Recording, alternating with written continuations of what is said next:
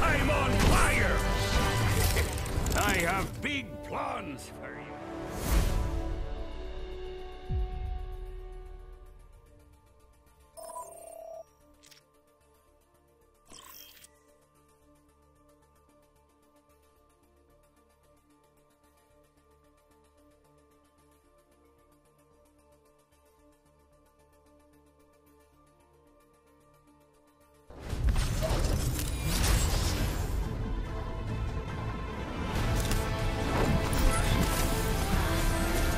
Surrender to my will.